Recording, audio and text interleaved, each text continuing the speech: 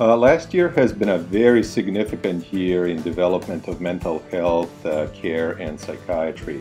Uh, we're seeing a gradual movement away from, from descript, descriptive nomenclature towards uh, more uh, pathophysiology-based understanding of psychiatric illness.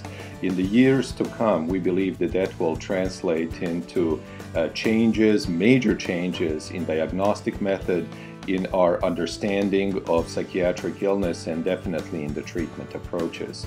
Uh, we can already see that uh, uh there are some medications with new mechanisms uh, appearing in the market. Uh, and again, uh, there is a lot of new and exciting in the store.